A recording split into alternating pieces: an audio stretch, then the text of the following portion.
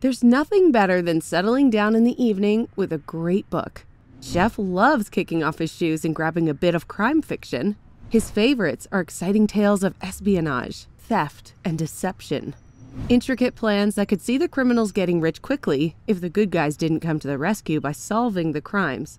But did you know that in the real world of the food supply chain, food fraud is a large scale and growing crime? It's costing the global food industry billions of dollars every year, and more importantly, it's putting consumers' lives at risk. It's also thought that around 97% of food fraud goes undetected. To help create some real life happy endings, for the food industry at least, knowing what food fraud is and how to help prevent it is a must. And this course has all the answers to unravel that mystery for you.